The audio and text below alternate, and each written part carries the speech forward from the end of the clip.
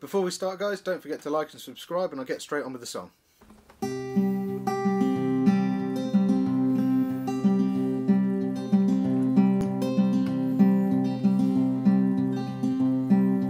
How many roads can a man walk down before they call him a man?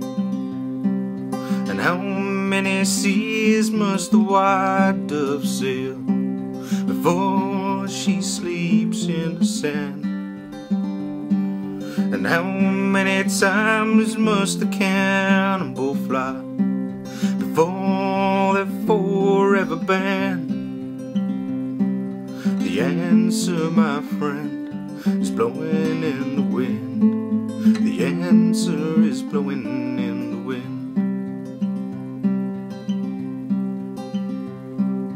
And how many years can the mountain exist before it's washed to the sea? And how many years can some people exist before they're allowed to be free? And how many times can a man turn his head and pretend that he just doesn't see?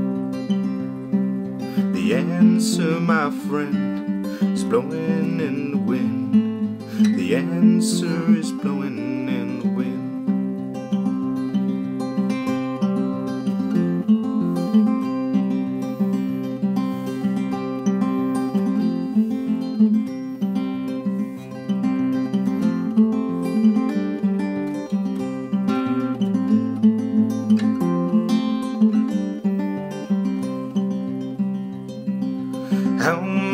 times can a man look up before he sees the sky?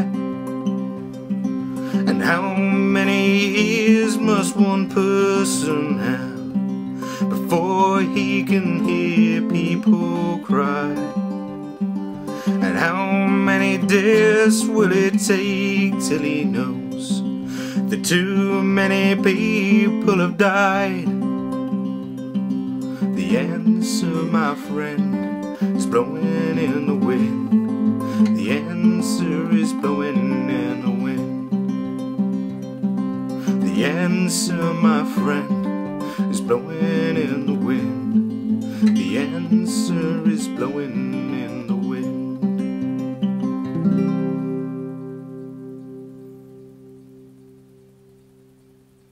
Hi guys, Blown in the Wind this week, Bob Dylan. And uh, over the years that I've been playing, especially when I've been out busking, uh, when you busk, a lot of people ask uh, for, you know, sort of songs they know, because they have no idea uh, of anything that you've done and all of that kind of stuff. So uh, Bob Dylan is pretty much the most requested uh, artist um, they just so many people come up and ask for a Bob Dylan song, and uh, up until recently, it's one he's one of those artists that I actually I know several of his songs, but I don't know them if that makes sense. As in, I know them roughly, but I've never sat down and learnt the whole thing. So I figured I'd uh, now give, given that I've got a lot of time, I'd sort of sit down and actually learn pretty much his most famous song.